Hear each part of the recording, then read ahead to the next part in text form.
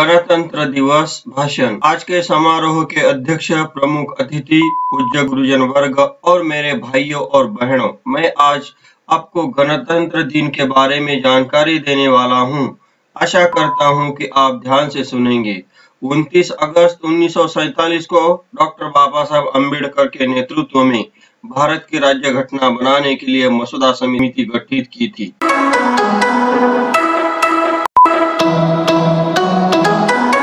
बैठकें और चर्चा सत्र के बाद इस समिति ने सादर किया हुआ अंतिम मसौदा 26 नवंबर उन्नीस को संविधान समिति ने स्वीकार कर लिया था।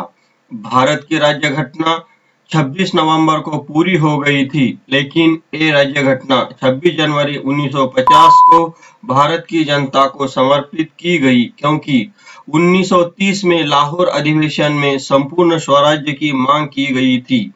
और 26 जनवरी को गणतंत्र दिन मनाने का ठराव पास हुआ था। 26 जनवरी का ऐतिहासिक महत्व कायम रखने के लिए 26 नवंबर को राज्य घटना पूरी होने के बावजूद भी 26 जनवरी को जनता को समर्पित की गई और ये दिन गणतंत्र दिन के रूप में मनाने की घोषणा की गई। ये दिन हमारे लिए बहुत शुभ दिन है। हमारा झंडा तीन रंगों का है।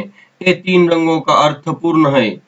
सबसे ऊपर का केशरी रंग शक्ति का प्रदर्शन करता है। उसके नीचे का सफ़ेद रंग शांति को दर्शाता है और सबसे नीचे का हरा रंग हमारी उन्नति का प्रतीक है।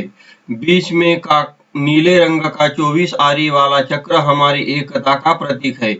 आज के दिन दिल्ली में बहुत बड़ा समारोह आयोजित किया जाता है। भारतीय सेना विविध कार्यक्रमों का आयोजन करती है।